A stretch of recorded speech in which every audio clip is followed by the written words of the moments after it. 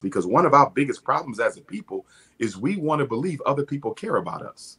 It is it's actually mm. it has taken on the form of a mental illness.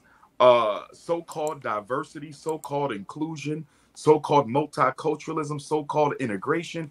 It is a mental illness for black people. We go out of our way to make people feel comfortable around us so they will accept us. You know, as one elder said here in Philadelphia, who's a scholar, she said, We don't have a racial ego. Uh, Dr. Hazard is her name. She said, We don't have a racial ego. Hmm. Everybody else, they hmm. Hmm. rally around their culture, they rally around their racial identity, not black people. All that was switched out for us and replaced with religious and fraternal loyalties.